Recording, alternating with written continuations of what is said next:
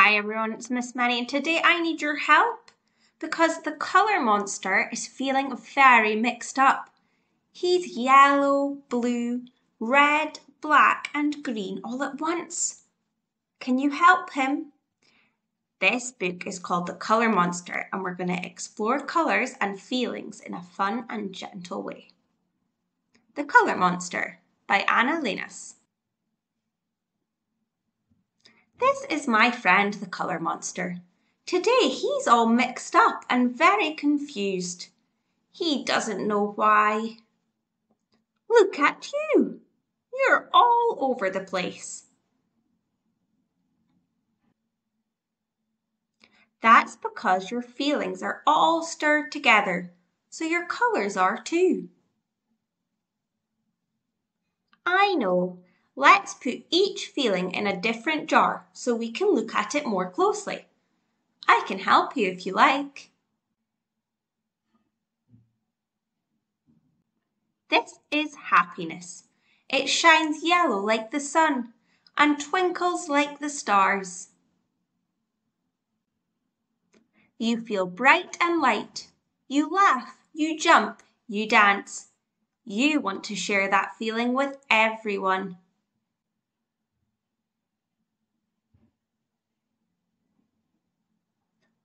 This is sadness. It's gentle like a blue rainy day. Sadness can make you cry. It can make you feel alone.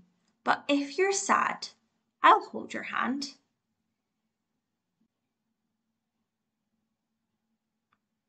This is anger. It blazes red like fire.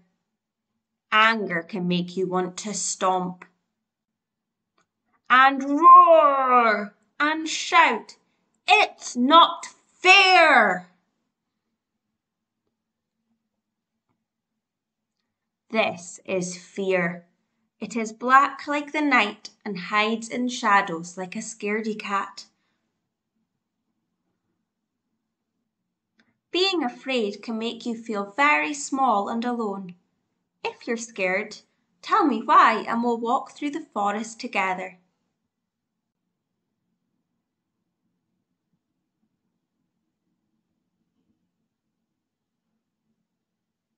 This is calm.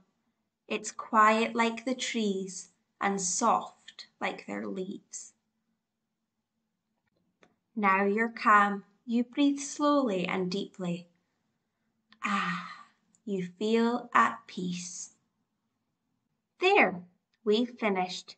Here are your feelings, and each one has a different colour. Blue for sadness, red for anger, green for calm, black for fear, and yellow for happiness. How are you feeling today?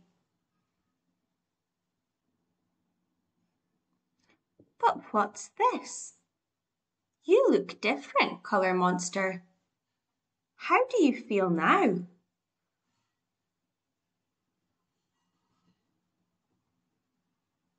Wonder how Colour Monster is feeling.